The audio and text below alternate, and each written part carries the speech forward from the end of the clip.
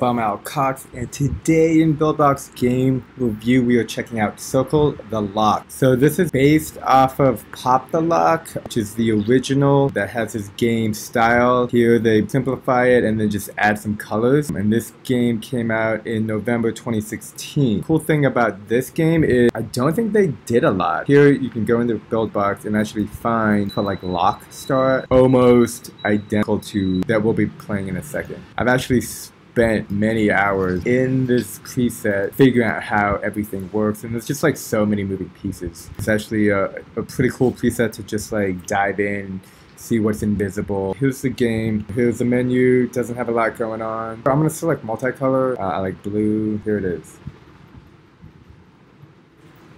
And there's a horn every time you hit it. And this is pretty much the game. There's not much more to this. It looks like there's a little shadow on the circle. I feel like whenever I get to 15 or higher, it just kind of makes me game over, which is not cool. But let's see how well I can do. See, it's best of 15. So, and I've, I've played this game plenty of times. I popped the lock a lot more. Uh, I think something may be off because if I always try to tap it right before, which in Pop the Lock, you want to tap it exactly on.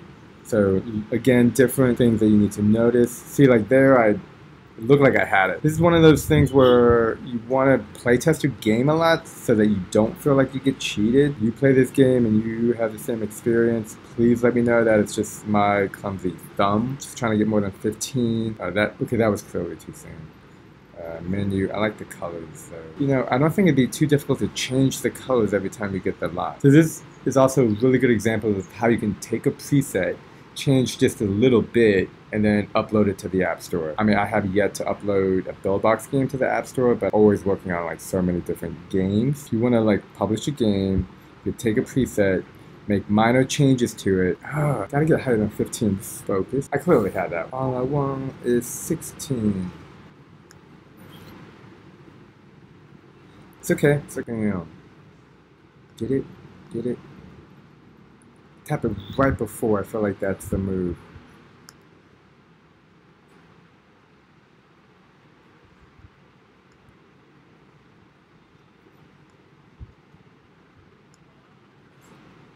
Seventeen high fives. Highly recommend checking out the BuildBox preset for this and just spend a day or two.